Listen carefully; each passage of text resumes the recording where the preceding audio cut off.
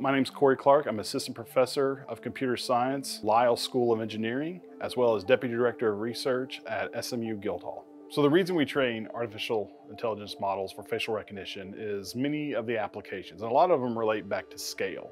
So one of the biggest sort of applications most people see is in the airport. And as you start having more travelers and more people coming through, you need to find a way where you can actually identify people, either threats or non-threats, or just identify things quickly. And so that becomes a huge problem as you start scaling up. There's all sorts of applications for it.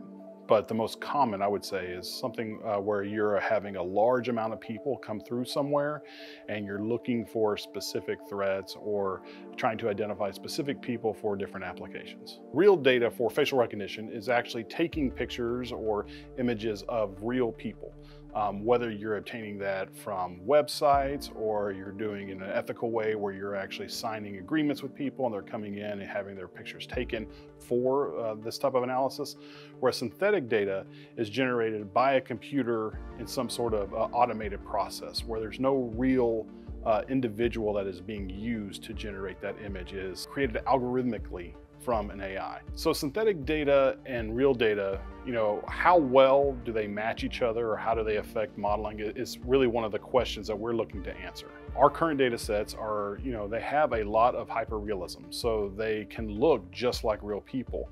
But the key is, is is there some sort of nuance hidden inside of that image that we as a person can't see, but these algorithms that are being trained on this mass amount of data, do they see something different?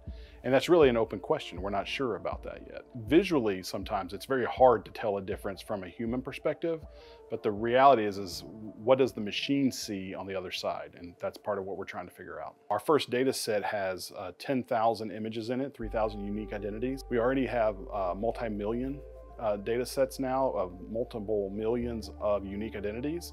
And that's the scale you need to actually train a model. Our goal is just to evaluate these algorithms and produce results for them. So in us, the ability to publish a data set that people use is our benefit. So we wanna make something that is useful to the general public and to the field.